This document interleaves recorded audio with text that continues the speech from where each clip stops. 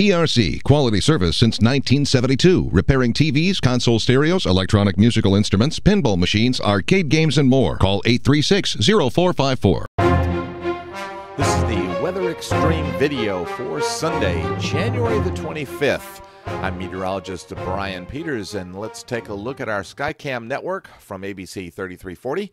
And there's a look at the view over the Tennessee River from Decatur, and we can see that there's a few breaks in the clouds up there, and also a few breaks in the clouds visible even from Mount Cheaha. It's not a very large break in the cloud, but we do have a pretty significant cloud cover over the southeastern United States. Cold front has moved down to the Gulf Coast, uh, sort of as we expected yesterday, and uh, that shows uh, the frontal position this morning.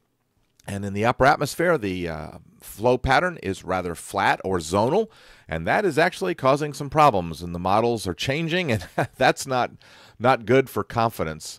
Temperature-wise, uh, you can see the contrast between the northern tier of the United States and the Gulf Coast, where the Gulf Coast is generally in the 40s and 50s, and uh, up there along the Canadian border, they're in the minus 20 values. So uh, quite a bit of contrast. A little bit closer to home, uh, we're kind of watching a wedging situation that uh, is a little bit hard to forecast for today, uh, with uh, temperatures off to the east uh, a bit colder. But that I don't think that's going to play a major role in our forecast. And rain-wise, of course, the rain all moved out of here yesterday morning, and we ended up with actually a very nice afternoon yesterday. Now, on the watch warning map, uh, interesting weather pattern here. There's lots of winter weather advisories, as you can see, in the northern Rockies, but also notice a number of winter storm watches uh, from Oklahoma City and uh, down uh, by the Red River, all the way across uh, parts of southern Missouri and northern Arkansas and Kentucky. Southern Illinois and Indiana. So, uh, developing situation, and QPF pretty well nails it here uh, the details are what may be changing, and of course, uh, the problem here is that uh, the models are flipping, uh, especially the GFS. So we're going to go with the GFS for now, but I think there may be some. You know, this is one of those where certainly want to stay tuned and and uh, be aware that uh, confidence is not particularly high in the forecast from day to day. But the QPF showing a, a good band of precipitation. And of course, if you use 10 to 1, uh, that would be a tremendous amount of snow across that area. I don't think they're going to get quite that much. All right, here's the 06Z GFS model run. And uh, for today, uh, you can see the high pressure is off to the uh, east and northeast of us, and that uh, could set up a little bit of wedging, and you can see that kind of uh, reflected in the pressure pattern over the Carolinas, but I don't really think that's going to impact us. The uh, zonal flow continues as the storm system develops uh, out over the Rockies, and uh, that will be developing a surface low. And it looks like Monday we're going to continue uh, on the dry side, even though we may see a good deal of clouds. Now, the GFS is uh, indicating that the trough is going to kick out on Tuesday, but of course it's uh, it's one of these things that's elongating, and so um, some of the energy may be sticking back there to the back, and that's going to end up with a bit of bad uh, or a bit of uh, precipitation across from uh, Oklahoma across the, the Ohio River Valley, and that is the focus for the winter storm watches for Monday night and Tuesday primarily.